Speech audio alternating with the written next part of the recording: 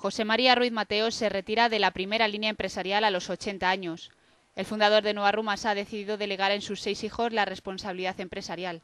Los motivos que ha esgrimido han sido su intención de invertir su tiempo, esfuerzo y experiencia en dar solución a la situación actual de los titulares de pagarés. José María confía en sus herederos, ya que ha estimado que estos están lo suficientemente capacitados como para llevar a cabo la gestión. La familia cuenta en su haber con varias deudas pendientes.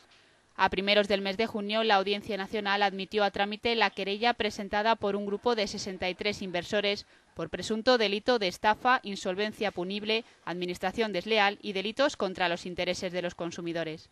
En cuanto a los pagarés, el patriarca afirma que se están estudiando otras vías paralelas con el fin de ampliar las garantías de cobro de los pagarés, que aun siendo suficientes, se amplían con otras complementarias a la adhesión de la escritura de cesión de derechos de pago derivados de la apropiación de la antigua Rumasa.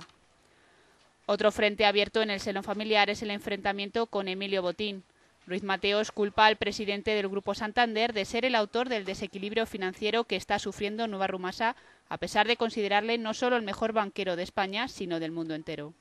En estos momentos están pendientes de admisión a trámite los concursos de las sociedades que explotan los hoteles de Baleares y Canarias, propiedad de la familia.